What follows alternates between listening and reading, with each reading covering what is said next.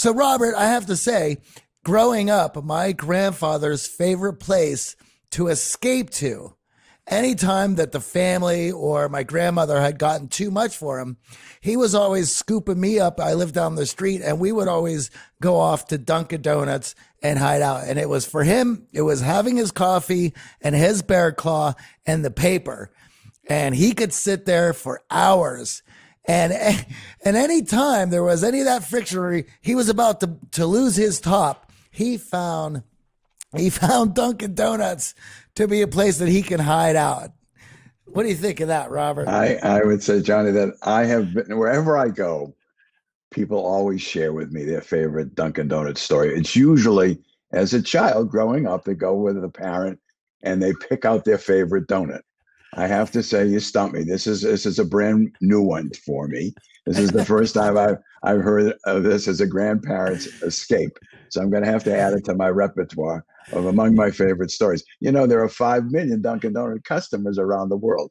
So each of them has their own unique story. You know something, and it warms my heart to hear that kind of story in terms of how people use the brand.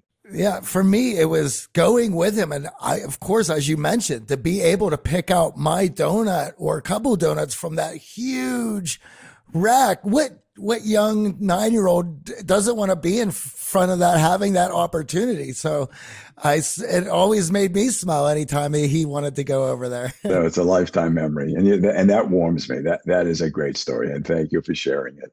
So, Robert, to get this started, the book was so fascinating learning about your leadership journey, but also the history of Dunkin' Donuts. I mean, that is an iconic brand.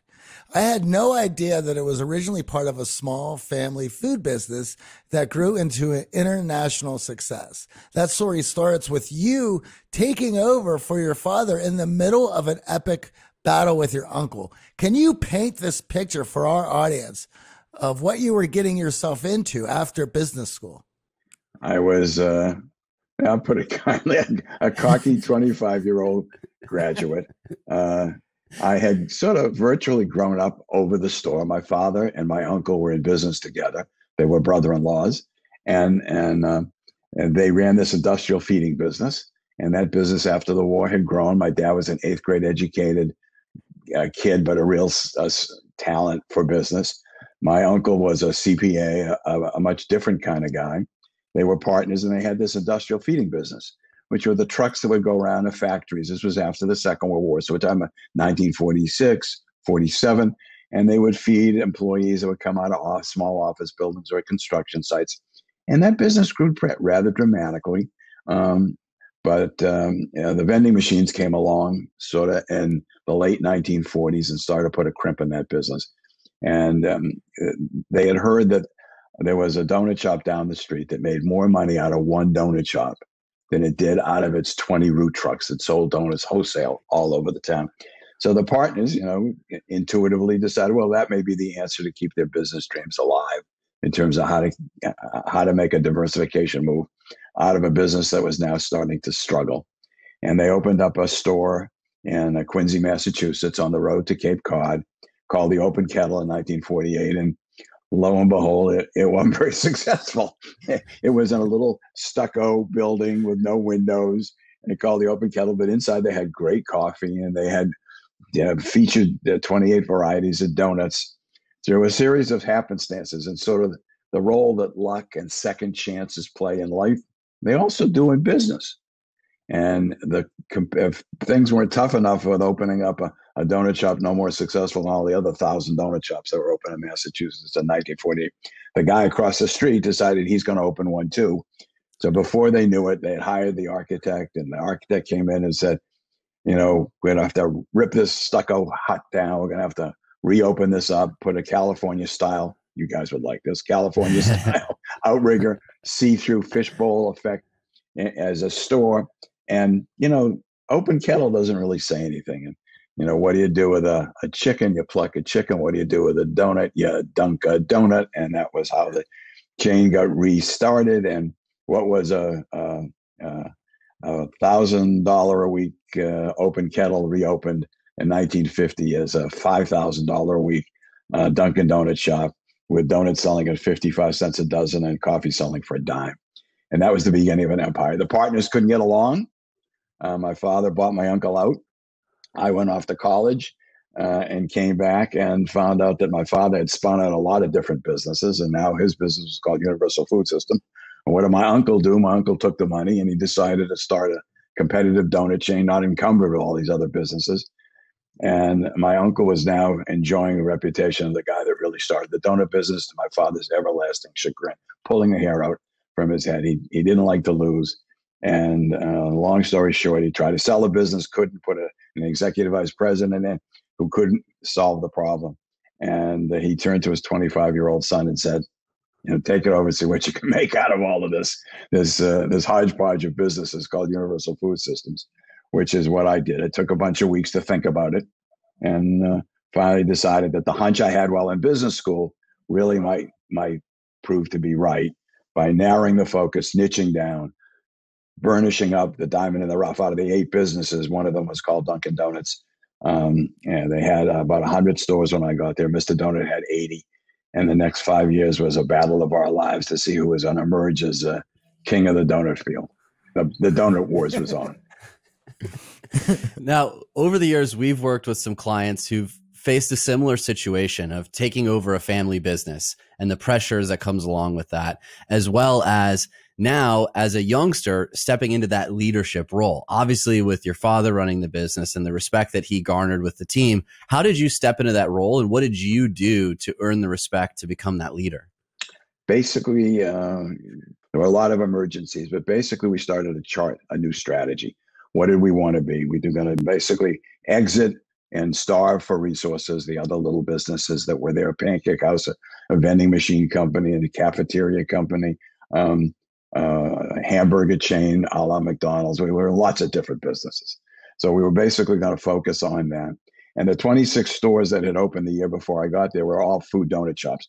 They varied in size, they varied in locations, they varied in store design, menus. Some of them had breakfast, uh, most of them had scrambled eggs and bacon for breakfast and hot dogs and hamburgers for lunch. It, it was really a, a um, um, what I would call a hodgepodge. And so what we did as a team we worked together to design a strategy of what we wanted to be. We were going to go to market with a standard 20 seat don- Dunkin' Donut shop, standardized menu, standardized pricing, standardized configuration.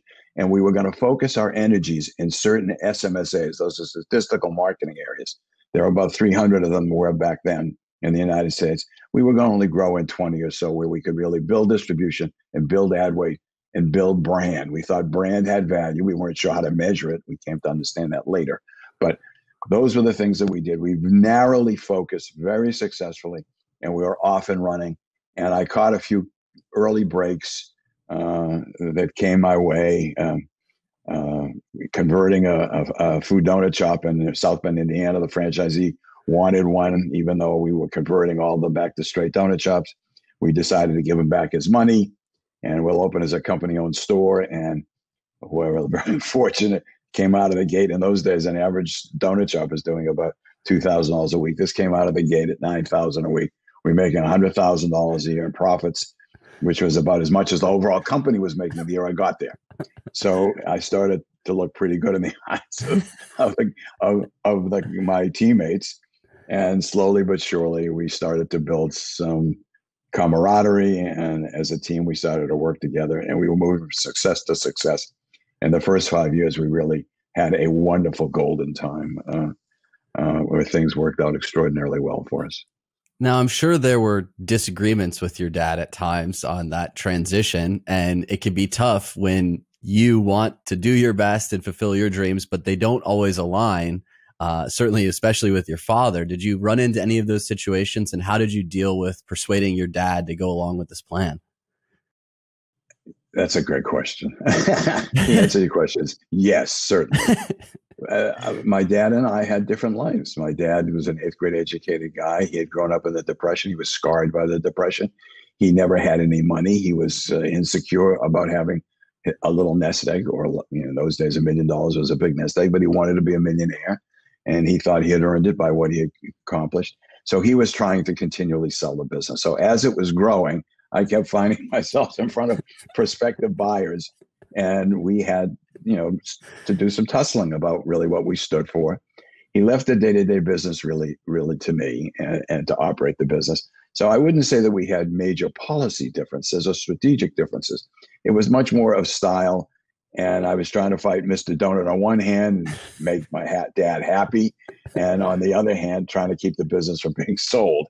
And that was a hard juggling act. And and to keep that all quiet because I felt it was hard to field a team to be competitive every day when they knew that the owner of the business really had one eye out the door. So that was really where an awful lot of, of the tension played out. And I had to design a system in my own head as to when do you sell a business. And I was able to convince my dad to hold on. I promised him that we would go public. And because earnings had gone from um, 100,000 in 1963 pre-tax profits to eight or nine hundred thousand dollars by 1968, five years later, we were the third company after McDonald's, Kentucky Fried Chicken to go public so my dad uh, still kept the majority of the stock. And that day, of February 6, 1968, a day that I will never forget, he pocketed four and a half million dollars and was the millionaire he always wanted to be, and still ended up with about 50 or 60 percent of the company. So, so it was uh, it was a very successful first five years. And it was always this notion that McDonald's had gone public successfully, Kentucky Fried Chicken had gone after, and we were about to go third. And I could always hold that carrot out and that promise and that was enough to keep him in. And that decision to go public, it sounds like your your dad was on board with based on those two previous successes that you guys had seen.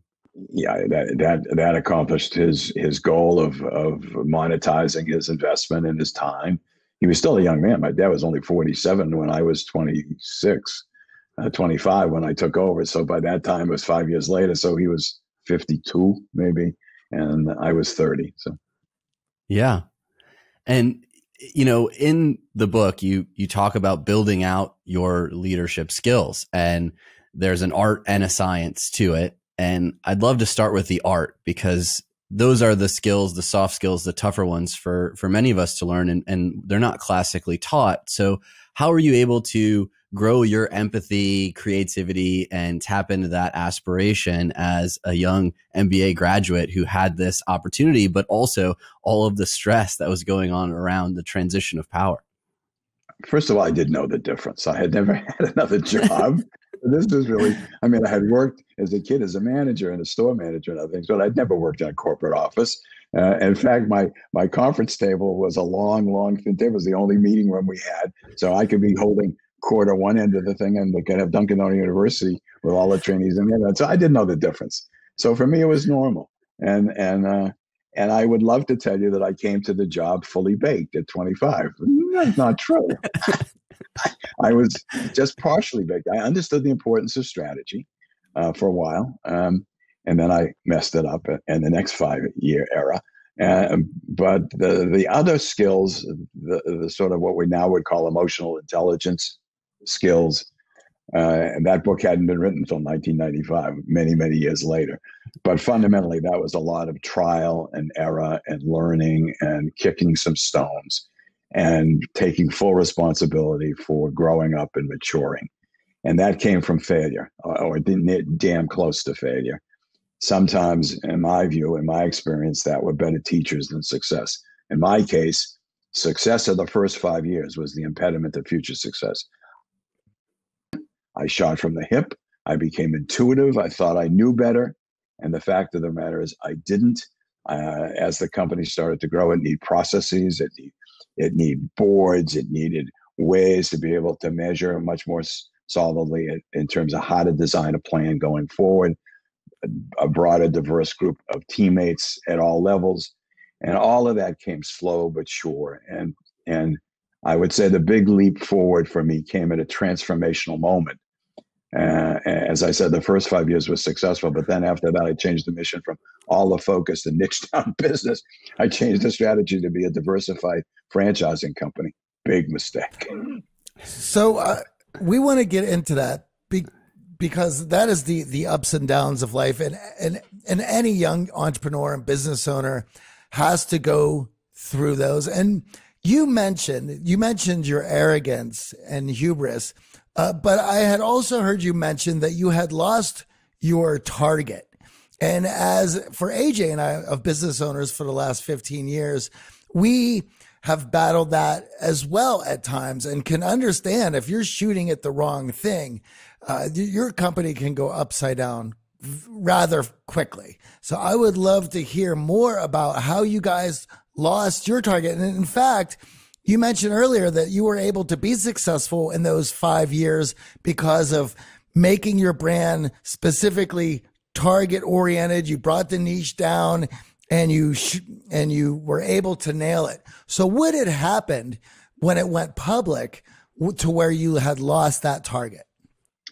So I remember the business couldn't draw uh, a million and a half dollars in 1963. Went public at 20 million dollars in 1968, and within a matter of a year or so, it was the darling of Wall Street. It was a high. It was akin to the high tech companies of today. So here I am at 30 years old, sitting on a business now worth 150 million dollars, selling at 60 times earnings, beyond intoxicating and seductive. Yeah and yeah. as a result of that, and we had grown from a small base, not realizing the law of large numbers. The larger the base got, the more you had to earn in order to keep up. So trying to keep at an aiming point of 50% in terms of my objective earnings per share would have clearly within a few years made me larger than the gross national product of the United States. That never occurred to me. I had the wrong target and began to have uh, my desire to keep my stock price up and looking at Wall Street instead of looking at my business, what my capabilities, what the capabilities of the company were. And all the way through my career, there was always this tension between exploitation and experimentation. Experimentation is doing new things like my dad did, and I began to do again in 1968, 69, 70. And, and exploitation, which is taking some of the things that you have within your business and finding new ways of improving it, geographically diversifying, new product diversification. There are lots of things that you can do sometimes with that business that you have within your midst. And there's always that's the art sort of of management, that balance between exploitation and experimentation. And when we got it right, generally it was more narrow niched as when it was right. We were very successful. And when we got too far afield, we generally ended up having trouble. And that was always the tension that went on. But it became very clear to me I couldn't grow it at at at at 50% compounded. When we reduced that down to, you know, 15% or so, it was much more achievable. We could experiment and still have money left over to do some R&D and still, you know, plant some saplings for future growth and we could more achieve our objectives. But I had to go through that 5-year time period, I think, to really get hit upside the head to really understand those lessons. And and uh, as I said, it was the best learning I, I could have ever gone through, and uh, that's I found very useful.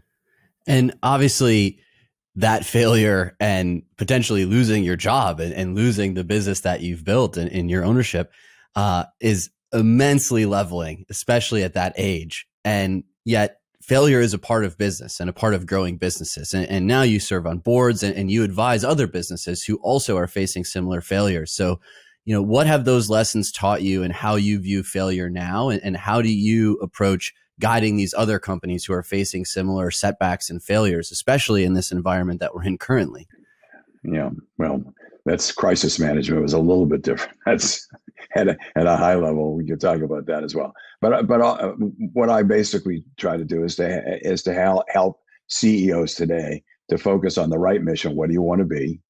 The right objectives. What do you want to have? Those couple of measurable things. You can't measure everything. Some businesses try to their detriment, and they get into conflict with each other. So you got to identify really the few that make a real difference, at least at the senior level. It may change as you work your way down through the organization. And what four or five levers will you pull? Because you, whether you're a United States government, whether you're a community, whether you're a company, whether you're a family, no one has limitless resources of people and money. And you have to earmark those few that are going to create the greatest impact in terms of achieving those objectives, that are going to bridge that gap between scarce resources. So we work on planning to help them do that, and that's where that's where I coach and and um, basically encourage people to take risk, uh, but to do it within the framework of the the budget that's been planned, setting aside some money for for future growth, future markets to open, future programs, future plans, uh, and in, in that case with a lot of R and if it doesn't work, close it down fast Uh, but don't don't be afraid of failure. Failure is part of the game. If you if you're not failing, you're not trying, and you can't be you know 100 percent accurate until you actually get on the playing field and see how it plays. It just it's impossible to do it in consumer and and um, and focus group sessions and asking customers and oftentimes they don't know what they like or want until they physically see it and can touch see touch and feel w- what the options are. So you really sometimes just have to try it and prototype small enough edge out. I'm a big believer in edging out. If it looks good go like you know keep watering it and grow it. And if it doesn't look good uh, pull back recalculate if you have to try it again and if it doesn't work second or third time, pull it. And sometimes the first time, if it doesn't look like it's got legs, pull it, admit defeat, walk away. Try not to put too much R and D and capitalize it because it becomes horrific to try to, you know, take a write off. The the larger that number keeps growing, the harder it is to pull the plug when it doesn't look right. The more you rationalize, it'll it's just around the corner. A little bit more money, a little bit more time. Oh, and once you, if you're a public company, once you tell everybody about your R and D, you know, then it becomes a topic of conversation. It, then it's another impediment for pulling the plug. So the kind of lessons I walked away with are try to expense your R&D as best you can unless it's really major and it's it's life changing. Try to expense it within your budget. Take a little bit less growth rate that year or those years while you're while you're encouraging that. And number two, generally don't go mainstream, blare the horn until you're ready to go prime time. In other words, uh, you know, when you're working on speculative things, they're speculative and, and they remain in house until it's ready to, to disclose. So it doesn't become the topic of conversation. Because, I mean, in the real world, those are real problems when you tell a lot of people what you're working on. Everyone wants to know. And, and before you know it, it's harder and harder to pull the plug when it doesn't work. And a lot of stuff doesn't work. Yeah. And I feel like everyone wants their ideas to become successes. And especially if you've had a few successes already, you want that next idea to, to fall in line. And when it doesn't, that that tension it creates and the the crisis it creates internally mentally is often a, a, time when we'll lose our willpower we'll lose our motivation we'll feel really defeated. So you know what have you done to one dust yourself off in those situations where you know your experiments didn't work? And and what do you now tell when you advise other companies who have that sunk cost fallacy who were so dead set that this experiment was going to be the winner and you had to cut the cord and, and admit defeat and basically, persistence is the most important. I mean, if you list the qualities eh, eh, eh, that get you through, it really is persistence because life is lumpy and business is lumpy, and you are going to encounter setbacks. They just come with the territory. And call them setbacks. Don't call them failures. They're setbacks. And it's all how you hold it. I mean, you really create yourself in language. So it's how you hold a lot of that. I mean, as human beings, that really is where the power the power lies in language and and what your narrative is. So if your narrative is, you know, let me tell you about what happened to me and I how I investigated into this thing that I thought was a real winner and it didn't work out. You know, if I come at it that way, it's more likely I'm likely to try it again as opposed to whoa, it's me, nothing's working. a lot of it's how you hold it in your own head. If you really realize that going in that not everything is going to be successful, and you're going to have to persevere and just don't bet the ranch. I mean, if you really that in, a, in a young company in a startup, oftentimes you can't do that. Sometimes you've got to reposition the business. You're trying to find your real footing. You've got to trial and error. You hopefully have enough capital to try two or three times, like Dunkin' Donuts had to try three times before it got launched. It really was a three fuck. It didn't happen right out of the gate. It was open kettle. I was Dunkin', and the management changed the concept of scrambled eggs and had to get relaunched again. So, I mean, that's what real business is like. That's really the real deal. It's that's the way businesses get started and grow and and form. So it is. It's jerky. It's lumpy, and I, I hope that answers your question. That that that it's persistence that really wins the day in the final analysis. And I think it's important to share those stories around the the false starts. You know, everyone looks at the iconic brand now, and and I didn't even know the backstory. And reading the book was so fascinating in that realm. And I think another part of the the story here is, you know, where do you look to who is your support outside of the company in these situations? And I know we talk to a lot of leaders on this show and it can be very lonely at the top as a CEO having to make all of those difficult decisions, face the board, face down shareholders. So, you know, did you have an outlet? Did you have your own uh, social group and and people in your life that you could count on in those situations where you were feeling rattled? Unusual. My closest friends were my teammates, and I and and it was a complementary set of people. Uh, I did lose one uh, when when I picked the wrong strategy in the second era. Guy I had driven every day to business school with, who, who was a very smart guy that I recruited out of Goldman after business school, and uh, and he basically lost confidence in me and left wisely. It was the right thing for him to do if he lost confidence.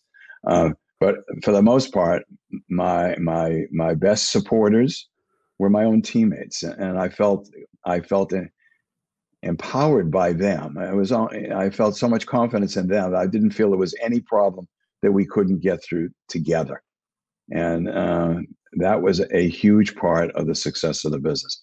It really was a team story, a bunch of people together for 20 years that respected each other, that complimented each other, that liked each other, no backbiting. It was it was a wonder to go to work in the morning, irrespective of the of the challenges and the dilemmas that we faced. Uh, and that's how we got through most of the problems. And I was comforted by their strength and by their talent. It was a talented group of people, very lucky to have great people. My COO guy by the name of Tom Schwartz I was a year behind me in business school, went to Goldman, got him through the CFO who I recruited, my classmate. And he and I were business partners and complemented each other tremendously. And you know, I never I never felt in it alone. I never felt the loneliness that you talk about. I, it was just not a part of what my life experience was working in business. I, I loved what I did. I loved the people I did it with. I felt comforted by them. Uh, there wasn't anything we couldn't discuss together. Uh, we we really were very a, a, truthful bunch of people that understood the importance of trust, and we trusted each other. We came from different backgrounds, many of us, different educational levels, um, but we worked together for a long period of time, and and we won. We had a lot of wins, and that keeps us together. That's a, yeah. that's a hell of an elixir, is winning. And you know, other than the second five year period, the next four periods after that, after we had learned our lesson, were pretty much wins. You know, we kept growing at 15% a year for the next 20 years, and uh, that's powerful. And and um, and, and so that we could our stock options allowed us to punch way above our weight in terms of attracting, and retaining great people. But that's that's that's where I that's where I got my comfort. That's that's how I looked upon my job. I, I loved my job, and I love the people I worked with.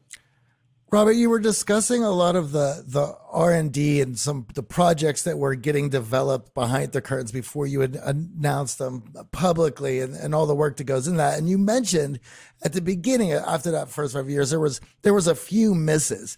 However, I had recently just had a a Dunkin' Donuts put in the retail space of the building I lived in in Los Angeles. Now, Dunkin' Donuts has certainly came a long way from all those years back that I used to go with my grandfather. So when you're doing R and D now and you're riding some of the waves culturally, uh, what? How are you looking at it differently now in research and development? comparatively to back then when the misses seem to be much more frequent? Or do I have it wrong that there's just as many misses that you're dealing with now as well, you always have been. We just don't notice them that much. I'm not as I'm not privy to the misses now. I suspect they are. I think when you have a highly adaptive culture, you know, you basically are trying lots of things, and and they're not all going to hit, and you pull the plug when those that don't. In fact, uh, my suspicion is that you're going to find that the that that kiosk that's in your building now will, will might well be closed down within a short period of time. Dunkin' just announced they're closing down 8,000 locations the things that I had opened up in the 80s, which were basically taking the product beyond the four walls of the store to wherever people workshop, travel, or play, which was a huge uh, leap forward, which, by the way, was uh, uh, devolved to me by virtue of the franchise owners' wives that owned the franchise in the Philippines.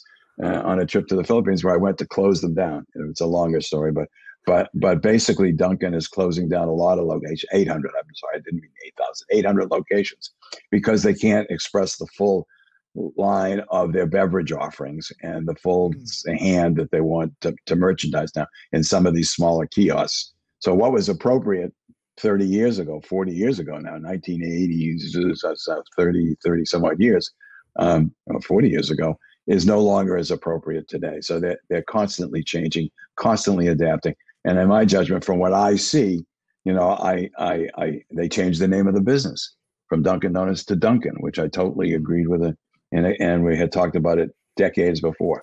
So they're constantly evolving uh, the business, and so in in ways, it's it's not unlike what we did. It's just different solutions because the technology is changing, the competition is changing, the the consumer is changing, and if you don't keep coming up with new strategies every five years, that's why my book is broken down into six eras. Some of them as short as three years, some of them as long as nine, but it really responds to the morphing conditions among the consumer, the competition, and technology that require a new strategy or a new look at where you're going to emphasize, what things you're going to emphasize and pull and change. Well, there was something I just wanted to bring up uh, in the 80s, which was the the incredible marketing that still sticks into my brain today with the, the guy who is going to make the donuts, which is became a slogan. It became, it was, you could even say it was a meme before there was memes all the way back then in the 80s. And that was uh, incredibly successful marketing. And we all use those things. We still use those sayings today. Exactly. Yeah, it's absolutely true. However, in 1992, we did a positioning study and we decided that we were no longer going to be bakery led. We were going to be beverage led. We were a beverage business because we had changed the, business, the nature of the way the business was. And we had to retire Fred the Baker, who was the lovable character, Michael Vale. Mm-hmm. He had won us three Clios in 17 year campaign. It was a 17 year campaign. Wow. But to wow. be replaced by an equally phenomenal campaign today, America Runs on Dunkin', which is a spectacular campaign, just as effective, but it reflects a change in strategy in the business. And it was Larry Bird. We had gone, we had hired a car. And we drove Michael Vale through Boston. Everybody cheered him as retirement. We did commercials. Well, Larry Bird was coaching him that year because Larry Bird was retiring that year on how to retire and, and found satisfaction in retirement. And it, but but it, it was a, a a change, and it was a wrenching one. It was didn't come easy. You can well imagine after so much success, we had to yeah. we had to change we had to change direction because the consumer was changing, the nature of our business was changing, and we became more of a much more of a beverage business. So today, the Dunkin' Donut brand is probably, uh, I would say, 60% beverages at least. Where years ago, when I first started, it was probably 40% beverages. It, it had done a flip. Well, your last two answers really speak to your ability to find and attract talent and then create a culture that supported you. And in your answer of, you know, feeling supported in the team, I'd love to unpack that a little bit more around hiring, because I know whether you own a business and you have to hire people or you're an employee and you want to be hired, there are certain signals that obviously need to be sent for you to identify this talent. So, you know, what was your thought process, especially in the early years, going in and attracting all of these amazing teammates who supported you through all of those eras? And, you know, what are those lessons that you pass on now when you advise other companies around hiring talent?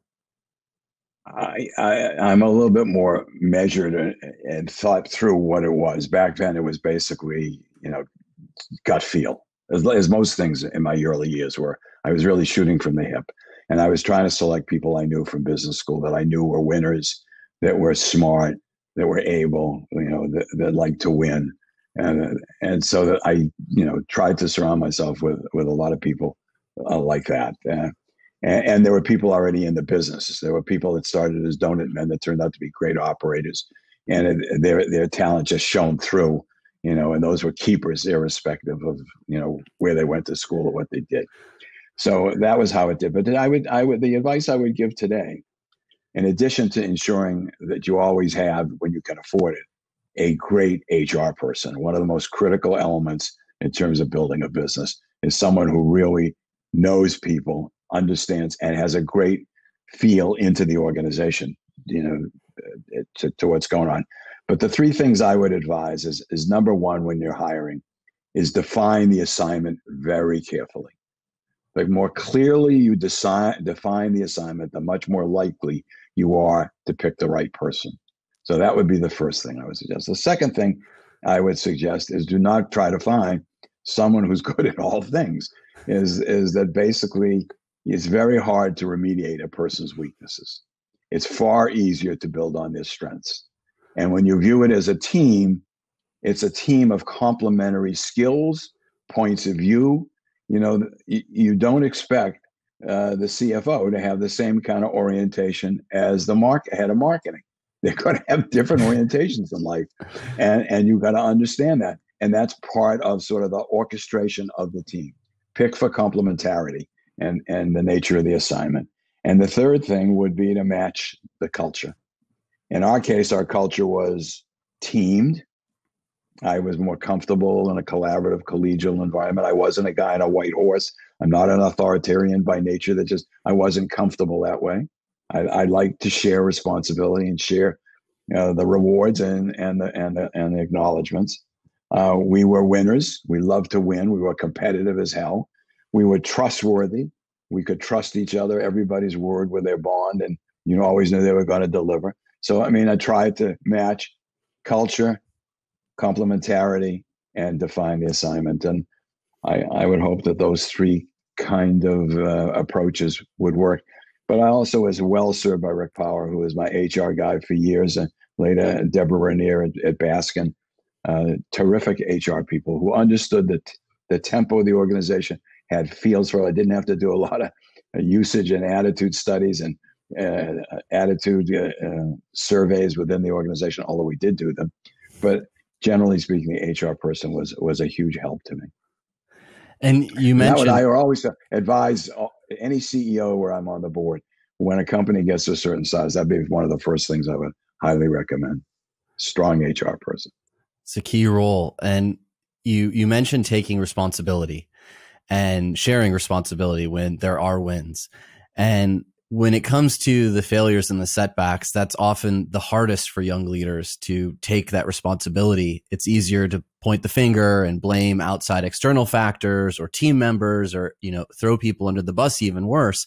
Um, you know, in those moments where you had to step up and take responsibility on the misses, how did you go into those meetings and how did you prepare yourself to take on that responsibility and, manage the team in a way that allowed them to follow along and, and build that supportive environment? I don't know where it came. I, it, it, it, but but basically, there was shame associated with failing back in the '70s. I felt terrible, uh, but you have to sort of gulp it down. When things go wrong, if you're the top person, you take the blame. You take the responsibility. There's just no other way around it. It's your responsibility. You made the judgment. You made the allocation. That comes with a job. If you don't want that job and if you don't want that pain, don't take the job because you're not you're not going to be able to avoid it. And and um, and ultimately, um, it just became a way of life. It seemed to me to work better. When things don't work out, you take the pain, and when things do work out, you share the the rewards and and the acknowledgments.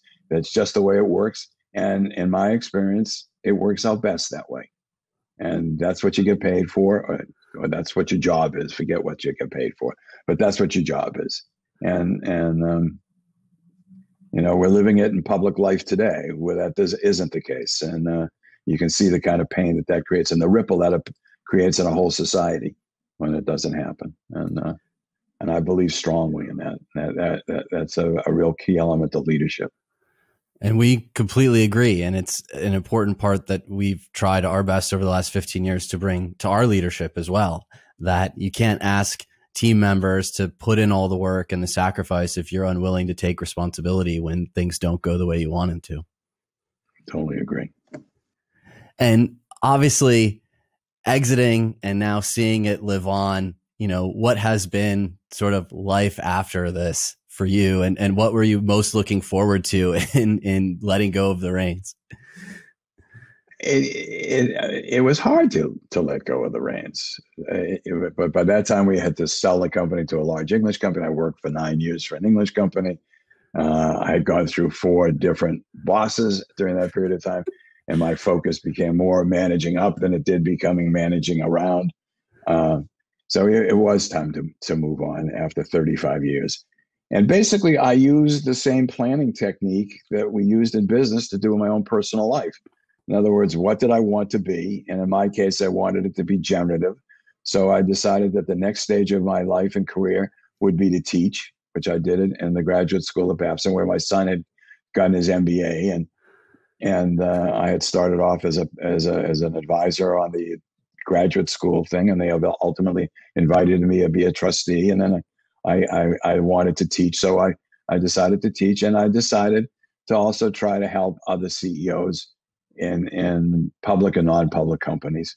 So that was my second career, and that that basically came out of the same planning process of what did I want to be, what did I want to have, what four or five key levers was I going to pull with scarce resources. So I started well in advance of the time I knew I was going to leave to start to build that, and um, and I was given the opportunity by the English company. They wanted me to stay on longer than I really should have in my view, when you're going to transition, probably six months is, is an ideal time. I think I was there for two or three years, way beyond what I should have been after the mantle was passed to satisfy them. And, and then I traded that to allow me to go on other boards while I was working for them. And they allowed me to do that and to begin to teach while I was doing that. So I began a transition well in advance. And now, um, now that that part of my career is over, I'm beginning to look at the next act if I still have gas in the tank, what what will be next? And I'm using the same process, the same exact thing. What can I do? What's unique? What can be generative? What would satisfy me personally? What can I add to society? How would I measure my life? And um, and uh, I, I uh, I'm in the midst of that right now, actually. Well, I know a lot of members of our audience are are asking themselves those same questions, having completed school and, and looking to make that next leap in their career. And that that purpose and, and who do I want to become is, is such a daunting question to ask ask yourself, especially early in your career.